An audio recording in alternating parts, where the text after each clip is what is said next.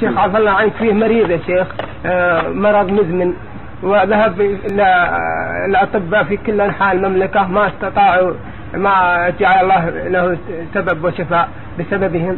فاخذه أخوه وذهب به إلى الشمال إلى واحد عنده كلاب ويقول إنه يقولون إنه كاهن. ونصحته قال إن الضروره تبيح المحرمات. لا ما يجوز هذا غلط. هذا نفسه بس وهذا أخذ منه خمسة آلاف ريال. هذه هي ضرورة. أخذ منه خمسة آلاف ريال. هذا الكاهن هذا. أخذ منه خمسة آلاف ريال وقال إن امرأتك سحرتك في خبز. والمرأة هذه بارة به حتى بعد ما ما يمكن أن تسحره. وهي عجوز وهو فوق الخمسين عاما. وهذه من العقوبات المقصود إن هذا ما يجوز. والآن اختل عقله. الآن الله يدفع البلاء. اختل عقله ولا يصلي الآن.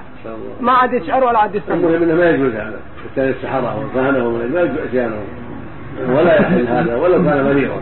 بعض الامراض ما لها شفاء بعض الأمراض قد كتب الله أنه يموت باسبابها ما لها ما لها علاج قد يعالج بها الطبيب ولا ينفع. إذا كان الله أراد انه يموت بها المرض هذا مو بدليل إنما الإنسان يأخذ بالاسباب فان شفاه الله فلا فالامر بيد الله. ما كل مرض له دواء. بعض الأمراض ما لها دواء. قد كتب الله أنه يموت بها. نعم. والضروره تبيع المحرمات في, في ماذا يا شيخ؟ في أكل اذا اذا إذا جاعوا ولا عنده شيء يأكل جاز يأكل من الميتة مثلا وأشباه هذا حتى لا يموت. مو معناه إنه إذا ما تزوج يزني أو لا رمي يحيط بالخمر لا هذا غلط.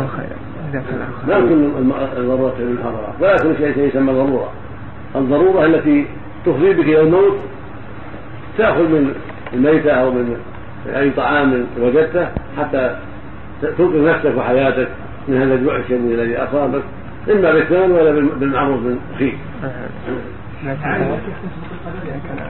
نعم لا لو ولو أنك سبق قضاء لسبقت ما تسبق القدر القدر من ورائها. لا يقع شيء إلا